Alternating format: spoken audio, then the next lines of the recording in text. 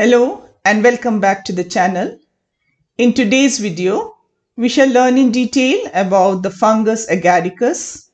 By the end of this video, you'll have a clear understanding about the structure of agaricus, its mode of reproduction, anatomy and development of its basidiocarp, structure of its gill or lamellae, and its life cycle.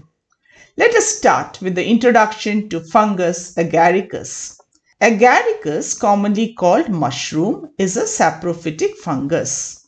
Agaricus campestris is an edible gilled fungus. It grows during the rainy season on dead and decaying woodlogs, decaying organic matter, and on organic rich soil. It is cosmopolitan in distribution.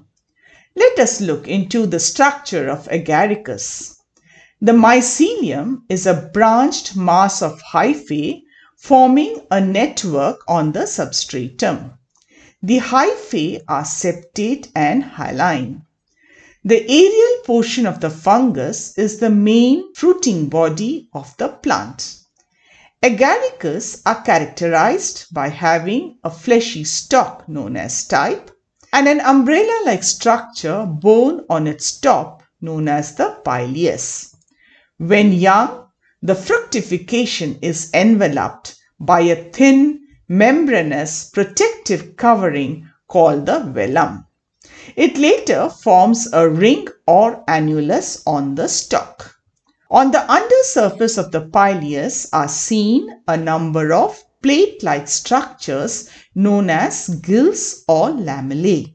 Each gill bears a number of spores on both surfaces.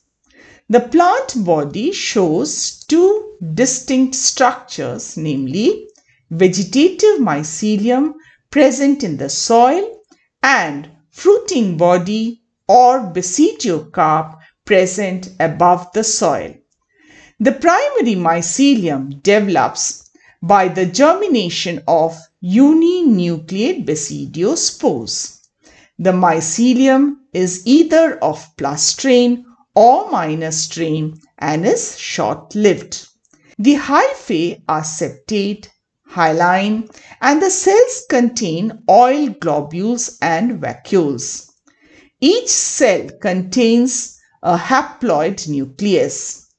As a result of hyphal fusion of compatible strains, the primary mycelium becomes binucleate and is known as secondary mycelium or dikaryotic mycelium.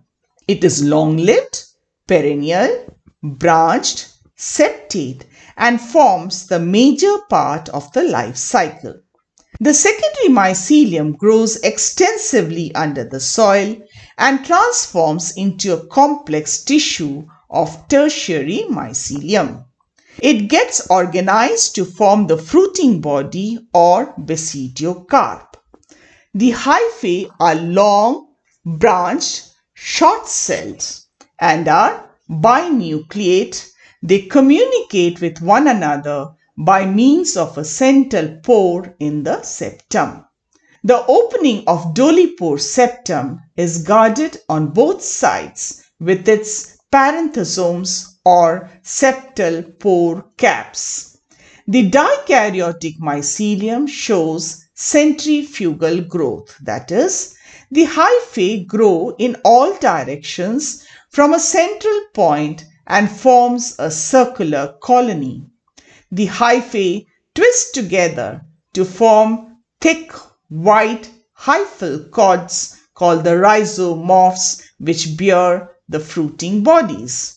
By the way, if you're getting some value out of this video, please like and share the video so that all of us can learn, unlearn and relearn together.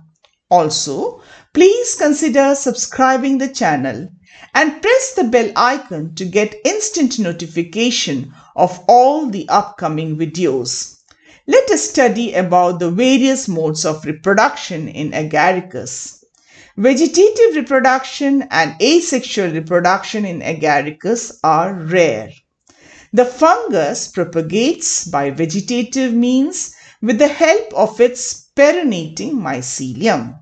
Asexual reproduction may take place by chlamydospores, conidia, or by oidia. They are formed on dikaryotic mycelium during unfavorable conditions. They may be terminal or intercalary in position. On return of favorable condition, they germinate and produce dikaryotic mycelium. Next is sexual reproduction. The somatic hyphae are heterothallic, but sex organs are completely lacking. The two different strains of primary mycelium act as male and female sex organs. Somatogamy or somatogamous copulation takes place through plasmogamy, karyogamy, and meiosis. Plasmogamy, two vegetative hyphae of opposite strains come in contact with each other and the intervening wall dissolves. The fusion cell now possesses two nuclei and constitute a dikaryon. Both nuclei of dikaryon divide synchronously resulting into four daughter nuclei. The sister nuclei separate into two daughter cells. The dikaryotic mycelium is the chief food absorbing phase of the fungus and later bears fructifications called the basidiocarps. The fusion of the two nuclei of the dikaryon results in the formation of a diploid nucleus. This is known as karyogamy. It takes place in the young basidium. Karyogamy is immediately followed by meiosis or reduction division leading to the formation of haploid basidiospores. Next, let us understand the development of the basidiocarp. The basidiocarps arise as tiny white apical swellings from the rhizomorphs. During favorable condition, they enlarge into round structures and represent the button stage of the basidiocarp. At button stage, the developing basidiocarp is differentiated into a basal bulbous part which represents the stalk region and an apical hemispherical region which later forms the pileus. A ring-like cavity, the gill chamber, is formed at the juncture of stalk and pileus. From the roof of the gill chamber arise flat plates of tissues forming the gills. The margin of the button is connected with the stalk by a membrane called the velum or the inner veil. The stalk elongates and the button projects above the soil. The button opens into an umbrella-like structure called the pileus. The velum on the lower surface of the pileus ruptures, exposing the hymenium in the gills. Development of basidiocarp is hemiangiocarpic, that is, the hymenium is at first enclosed but at maturity, it gets exposed. Remnants of velum remain in the form of a ring on the stipe and is known as the annulus. The mature basidiocarp consists of a thick, fleshy, cylindrical stalk called the stipe. On top of the stipe, a broad umbrella-shaped structure known as pileus develops. A membranous ring called the annulus surrounds a part of the stipe. A number of plates of tissues called gill or lamellae are found hanging from the under surface of the pileus. They radiate from the margin of the pileus towards the stipe. There is a fertile layer of spore producing tissue called hymenium or thecium, covering the surface of the gill from both sides. Next, let us study the anatomy of basidiocarp.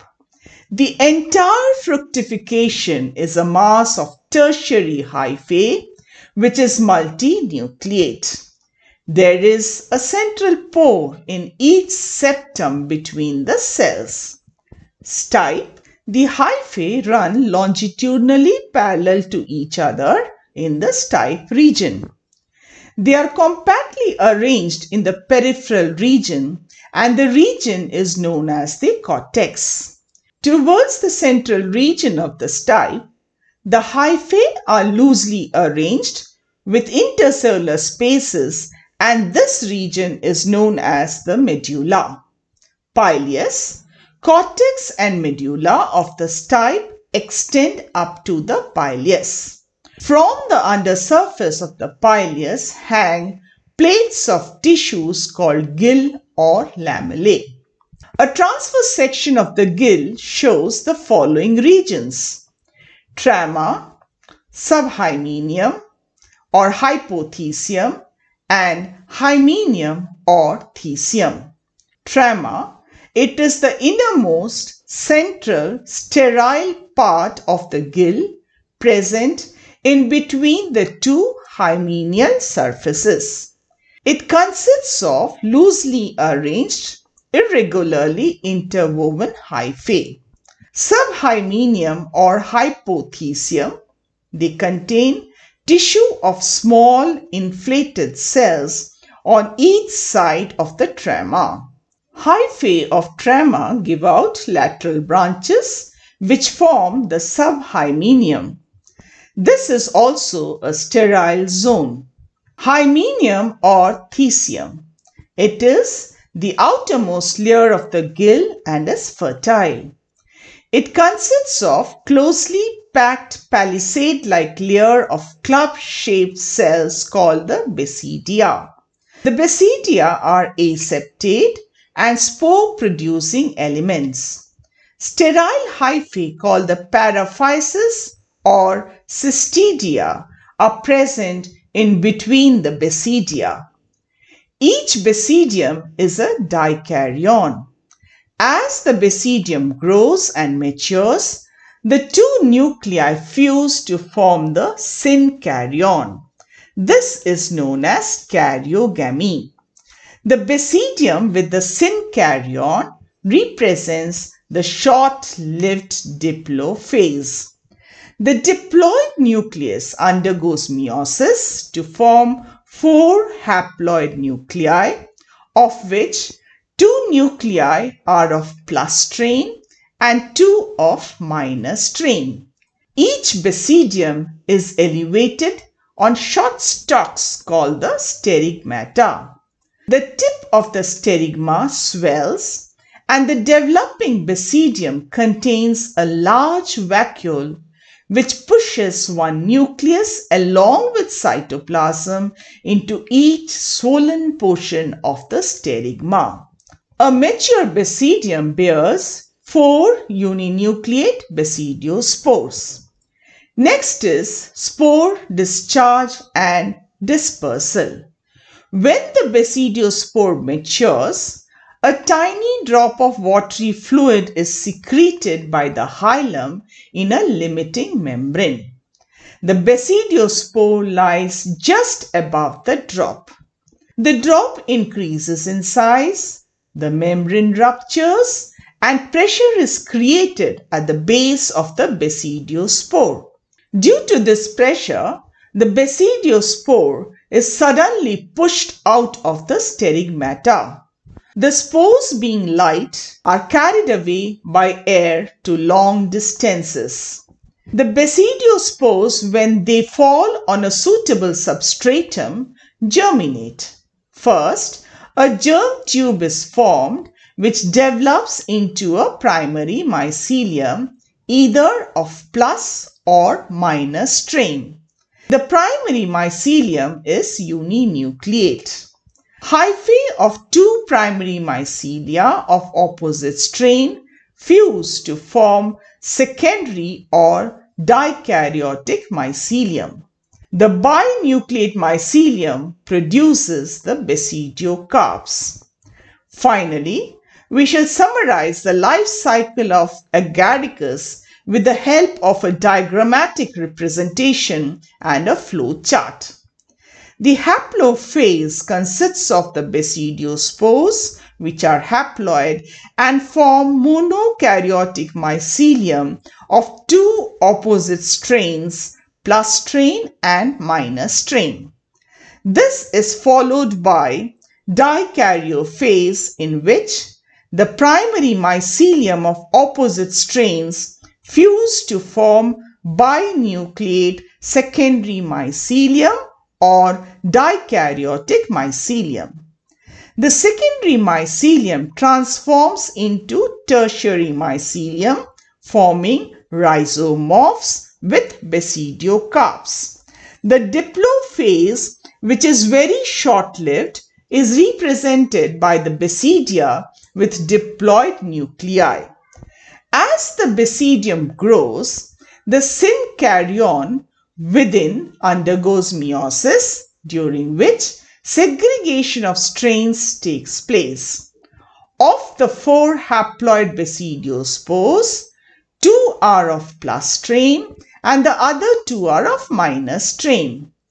The basidiospores germinate to form primary mycelium of two opposite strains. The haplophase, dikaryophase and diplophase are clearly marked in the flowchart. So today we have learned in detail about the structure of fungus agaricus, its mode of reproduction, development of the basidiocarp, and its complete life cycle. I have some practice questions for you. Please share your answers in the comments section below. You can pause the video and write down the questions if you like. Thank you so much for your time and participation. If you haven't subscribed to my channel yet, please consider subscribing the channel and press the bell icon to get instant notification of all the upcoming videos. Also, if you want to discuss any particular topic in biology, please mention that in the comments section below. I'll see you there. Goodbye. All the best.